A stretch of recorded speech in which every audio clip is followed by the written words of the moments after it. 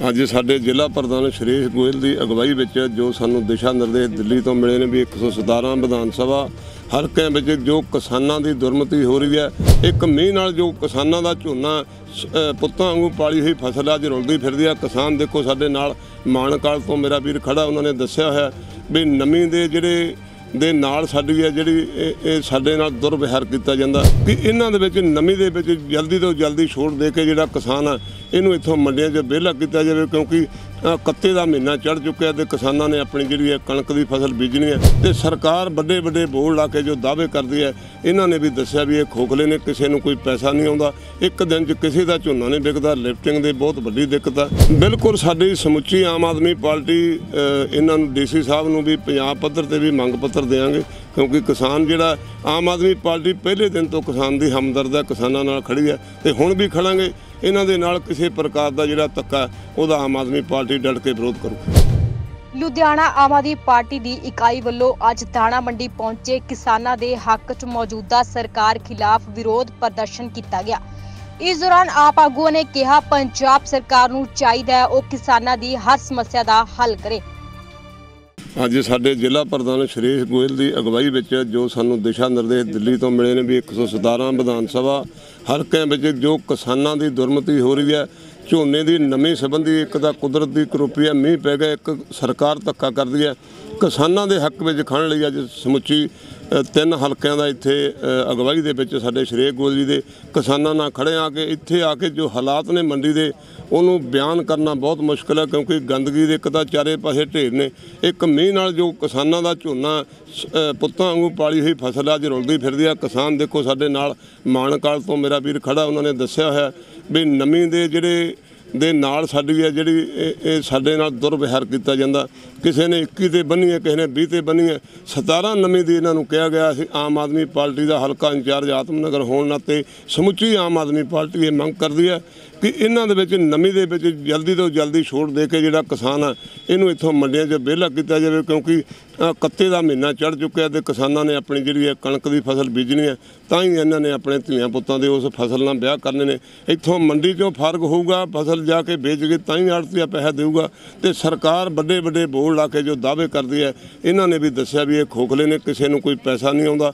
ਇੱਕ ਦਿਨ 'ਚ ਕਿਸੇ ਦਾ ਝੋਨਾ ਨਹੀਂ ਵਿਕਦਾ ਲਿਫਟਿੰਗ ਦੇ ਬਹੁਤ ਵੱਡੀ ਦਿੱਕਤ ਆ। ਤੇ ਇਸ ਮੰਗ ਦੇ ਨੂੰ ਇੱਕ ਜਾਇਜ਼ ਮੰਗ ਹੈ ਕਿਉਂਕਿ ਧਰਤੀ ਦੇ ਪੁੱਤਰ ਦੀ ਮੰਗ ਹੈ ਇਹ ਜ਼ਰੂਰ ਮੰਨਣੀ ਚਾਹੀਦੀ ਲੈਫਟਨ ਦਿਖਾਓ ਬੋਰਡ ਪੰਜਾਬ ਸਰਕਾਰ ਨੂੰ ਕੋਈ ਤੁਹਾਡੇ ਘਰੇ ਜਾ ਕੇ ਮਿਲਦਾ ਜਾਂ ਮੰਗ ਪੱਤਰ ਦੇਣਗੇ ਤੁਹਾਨੂੰ ਬਿਲਕੁਲ ਸਾਡੀ ਸਮੁੱਚੀ ਆਮ ਆਦਮੀ ਪਾਰਟੀ ਇਹਨਾਂ ਨੂੰ ਡੀਸੀ ਸਾਹਿਬ ਨੂੰ ਵੀ ਪੰਜਾਬ ਪੱਧਰ ਤੇ ਵੀ ਮੰਗ ਪੱਤਰ ਦੇਵਾਂਗੇ ਕਿਉਂਕਿ ਕਿਸਾਨ ਜਿਹੜਾ ਆਮ ਆਦਮੀ ਪਾਰਟੀ ਪਹਿਲੇ ਦਿਨ ਤੋਂ ਕਿਸਾਨ ਦੀ ਹਮਦਰਦ ਹੈ ਕਿਸਾਨਾਂ ਨਾਲ ਖੜੀ ਹੈ ਤੇ ਹੁਣ ਵੀ ਖੜਾਂਗੇ ਇਹਨਾਂ ਦੇ ਨਾਲ ਕਿਸੇ ਪ੍ਰਕਾਰ ਦਾ ਜਿਹੜਾ ਧੱਕਾ ਉਹਦਾ ਆਮ ਆਦਮੀ ਪਾਰਟੀ ਡਟ ਕੇ ਵਿਰੋਧ ਕਰੂਗੀ। ਮੋਦੀ ਸਰਕਾਰ! ਮੁਰਦਾਬਾਦ ਮੋਦੀ ਸਰਕਾਰ! ਮੁਰਦਾਬਾਦ ਪਾਰਟੀ ਨਹੀਂ ਮੇਰਾ ਸਾਹਮਣੇ ਦਫ਼ਤਰ ਆ ਮੈਂ ਸਾਰੇ ਕਿਸਾਨਾਂ ਨੂੰ ਕਹਿ ਰਿਹਾ ਵੀ ਕਿਸੇ ਪ੍ਰਕਾਰ ਦੀ ਤੁਹਾਨੂੰ ਦਿੱਕਤ ਆ ਮੈਂ ਹਾਜ਼ਰ ਹਾਂ ਸਮੁੱਚੀ ਆਮ ਆਦਮੀ ਪਾਰਟੀ ਕਿਸਾਨਾਂ ਨਾਲ ਮੋਢੇ ਨਾਲ ਮੋਢਾ ਲਾ ਕੇ ਖੜੀ ਹੈ ਉਧਰ ਕਿਸਾਨਾਂ ਵੱਲੋਂ ਵੀ ਇਸ ਗੱਲ ਤੇ ਚਿੰਤਾ ਪ੍ਰਗਟ ਕਰਦੇ ਹੋਏ ਕਿਹਾ ਕਿ ਸਰਕਾਰ ਵੱਲੋਂ ਕੋਈ ਵੀ ਸਹਾਇਤਾ ਜਾਂ ਝੋਨੇ ਦੀ ਚੁਕਾਈ ਨੂੰ ਲੈ ਕੇ ਇੰਤਜ਼ਾਮ ਨਹੀਂ ਕਰ ਰਹੀ। ਜਸਪਿੰਦਰ ਸਿੰਘ ਜੀ। ਕਿਹੜੇ ਪਿੰਡੋਂ ਆਏ? ਮਾਨਕਵਾਲ ਜੀ। ਕਿੰਨੇ ਦਿਨ ਤੋਂ ਤੁਸੀਂ ਇਸ ਮੰਡੀ ਵਿੱਚ ਬੈਠੇ 5-6 ਦਿਨ ਹੋ ਗਏ ਜੀ? ਸਰਕਾਰ ਵੱਲੋਂ ਕੋਈ ਸਰਕਾਰ ਵੱਲੋਂ ਕਿਹੜਾ ਪੁੱਛਦਾ ਜੀ ਇੱਥੇ ਕੋਈ ਨਹੀਂ ਪੁੱਛਦਾ। ਕੋਈ ਵੀ ਨਹੀਂ ਆਇਆ ਤੁਹਾਡੇ ਕੋਈ ਨਹੀਂ ਆਉਂਦਾ ਇੱਥੇ ਕੋਈ ਨਹੀਂ ਪੁੱਛਦਾ। 17 ਨਵੀਂ ਇਹਨਾਂ ਨੇ ਕਰੀ ਹੋਈ ਹੈ 17 ਤੇ ਭਰਦਾ ਕੌਣਾ ਕਿਸੇ ਦੀ ਮਸ਼ੀਨ 22 ਤੇ ਬੰਨੀ ਪਈ ਆ ਕਿਸੇ ਦੀ 18 ਤੇ ਬੰਨੀ ਪਈ ਆ ਕਿਸੇ ਦੀ 16 ਦੱਸਦੀ ਆ। ਉੱਥੇ ਕਿਹੜਾ ਭਰੂਗਾ? ਕੋਈ ਨਹੀਂ ਇੱਥੇ ਸਾਨੂੰ ਪੁੱਛਦਾ। ਨਹੀਂ ਹੁਣ ਮੀਂਹ ਆਇਆ ਮੀਂਹ ਦੇ ਮੀਂਹ ਆਇਆ ਮੀਂਹ ਦੇ ਵਿੱਚ ਬੈਠੇ ਆ ਹਨੇਰੀ 'ਚ ਤਰਪਾਲਾਂ ਤਣੀਆਂ ਸਾਰੀ ਰਾਤ ਮਰਦੇ ਆ ਇੱਥੇ ਮਰੀ ਚਲੋ। ਕੋਈ ਪੁੱਛਦਾ ਸਾਨੂੰ? ਸਾਧਨ ਵੱਲੋਂ ਕੋਈ ਤੁਹਾਡਾ ਕਿਸੇ ਨੇ ਪੁੱਛਦਾ ਕੋਈ ਸਾਨੂੰ ਪੁੱਛਦਾ ਨਹੀਂ ਜੀ। ਤੁਸੀਂ ਇੱਥੇ ਬੈਠ ਕੇ ਆਏ ਖੱਜਲ ਖਵਾਰ ਹੋ ਰਹੇ ਹੋ। ਹੋ ਹੀ ਰਹੇ ਆ ਜੀ। ਉਹ ਤਾਂ ਤੁਹਾਡੇ ਸਾਹਮਣੇ ਆ, ਹੁਣ ਦੇਖ ਲਓ। ਕੋਈ ਸਾਨੂੰ ਪੁੱਛ ਨਹੀਂ ਰਿਹਾ ਇੱਥੇ। ਕੋਈ ਤੁਹਾਡੇ ਵਾਸਤੇ ਕੋਈ ਚਾਹ ਪਾਣੀ ਜਾਂ ਕੁਝ ਵੀ ਚਾਹ ਪਾਣੀ ਸਾਡਾ ਆੜਦੀ ਆ ਠੀਕ ਆ ਚਾਹ ਪਾਣੀ ਮਾੜੀ ਮੋਟੀ ਦਿੰਦੇ ਆ ਜਿੰਨੇ ਕੁ ਉਹਨਾਂ 'ਚ ਹੈਗੀ ਆ ਪਰ ਉਹ ਕੀ ਕਰਨਾ ਹੁਣ ਜੀ? ਕੋਈ ਡੀਸੀ ਕੋਈ ਨਹੀਂ ਆਇਆ ਇੱਥੇ ਕੋਈ ਨਹੀਂ ਆਇਆ ਕੋਈ ਨਹੀਂ ਆਇਆ। ਕੋਈ ਨਹੀਂ ਪੁੱਛਦਾ ਇੱਥੇ ਸਾਨੂੰ। ਜਿਹੜਾ ਇੱਥੇ ਦਾ ਇੰਸਪੈਕਟਰ ਆ ਕਿੰਨੇ ਦਿਨ ਹੋ ਗਏ ਉਹਨੂੰ ਆਏ ਨੂੰ? ਇੰਸਪੈਕਟਰ ਦਾ ਅਸੀਂ ਤਾਂ ਦੇਖਿਆ ਨਹੀਂ ਜੀ ਹੋਇਆ ਇੱਕ ਦਿਨ ਆਇਆ ਸੀਗਾ ਇੱਥੇ ਹਫਤਾ ਹੋ ਗਿਆ ਉਹ ਅਸੀਂ ਨਹੀਂ ਦੇਖਿਆ। ਹੁਣ ਕੀ ਮੰਗ ਕਰਦੇ ਹੋ? ਮੰਗ ਵੀ ਕਰਦੇ ਆ ਬਸ ਜੇ ਸਾਡਾ ਭਰ ਜਵੇ ਕਿਸੇ ਲੋਟ ਠੀਕ ਆ ਨਵੀਂ 17 ਦੇ ਤਾਂ 18 18 ਕਰ ਦੇਣ ਇੱਕ ਅੱਧੀ ਨਾਲ ਸਾਡਾ ਕੰਮ ਚੱਲਦਾ ਵਾ। ਹੁਣ ਨਵੀਂ ਤਾਂ ਵਧਾਉਂਦੇ ਨਹੀਂ ਉਹ ਤਾਂ ਥੱਲੇ ਨੂੰ ਲਈ ਆਉਂਦੇ ਆ। ਉਹਨੂੰ ਅਸੀਂ ਕੀ ਕਰੀਏ? ਵੱਡੇ ਵੱਡੇ ਬੋਰਡ ਲਾ ਕੇ ਲੈ ਰਹੀਆਂ ਜੇ ਇੱਕ ਦਿਨ ਦੇ ਵਿੱਚ ਝੋਨਾ ਚੱਕ ਲਾਂਗੇ ਜਾਂ ਜੀਰੀ ਚੱਕ ਲਾਂਗੇ। ਕਿਹਦਾ ਝੋਨਾ ਚੱਕਿਆ ਜੀ ਉਹ ਦੱਸ ਦੇਣ। ਜਾਂ ਕਿਹਨੂੰ ਪੇਮੈਂਟ ਆ ਗਈ ਆ ਦੂਜੇ ਦਿਨ ਕਹਿ ਦਿੰਦੇ ਆ ਪੇਮੈਂਟ ਆ ਜਾਣੀ ਆ 24 ਘੰਟੇ ਦਿਖਾ ਦੇਣ ਕਿਹਦੀ ਪੇਮੈਂਟ ਆ ਗਈ ਆ। ਦੇ ਵਿੱਚ ਵੀ ਇੰਨੇ ਬੋਰਡ ਲੱਗੇ ਨੇ ਮੁੱਖ ਮੰਤਰੀ ਸਾਹਿਬ ਦੇ। ਤੇ ਮੁੱਖ ਮੰਤਰੀ ਦੇ ਬੋਰਡ ਹੀ ਆ ਜੀ। ਉਹ ਤਾਂ ਬੋਰਡ ਹੀ ਆ ਇੱਕ ਦਿਖਾਵੇ ਹੀ ਨੇ ਇੱਥੇ ਕੋਈ ਨਹੀਂ ਪੁੱਛਦਾ ਬੋਰਡਾਂ ਨਾਲ ਜਾਂ ਪੈਸਾ ਕੋਈ ਆਇਆ ਸਾਡਾ ਉਹ ਦੱਸ ਦੇਣ ਅਕਾਊਂਟ 'ਚ। ਪਹਿਲਾਂ ਵੀ ਅਸੀਂ ਹਫ਼ਤੇ ਬਾਅਦ ਤੋਲ ਕੇ ਗਏ ਆ ਸਾਡੇ ਕੋਲੇ ਕੁਝ ਨਹੀਂ ਆਇਆ। ਕੋਈ ਸਾਨੂੰ ਪੁੱਛਦਾ ਨਹੀਂ ਇੱਥੇ। ਲੁਧਿਆਣਾ ਤੋਂ ਕੁਲਬੀਰ ਰਾਹੀ ਦੀ ਰਿਪੋਰਟ।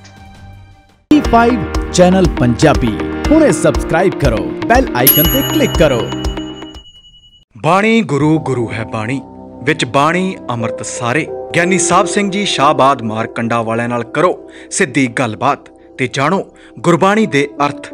ਰੋਜ਼ਾਨਾ ਪਾਠ ਕਰਨ ਵਾਲੇ ਇਹ ਪ੍ਰੋਗਰਾਮ ਜ਼ਰੂਰ ਦੇਖਣ ਤੇ ਗੁਰੂ ਸਾਹਿਬ ਦੀਆਂ ਅਸੀਸਾਂ ਦੇ ਪਾਤਰ ਬਣਨ। ਦੇਖਣਾ ਨਾ ਭੁੱਲਣਾ ਸਾਡਾ ਖਾਸ ਪ੍ਰੋਗਰਾਮ ਗੁਰਬਾਣੀ ਗਿਆਨ, ਐਤਵਾਰ ਸਵੇਰੇ 7 ਤੋਂ 8 ਵਜੇ ਤੱਕ। D5 ਚੈਨਲ ਪੰਜਾਬੀ ਤੇ।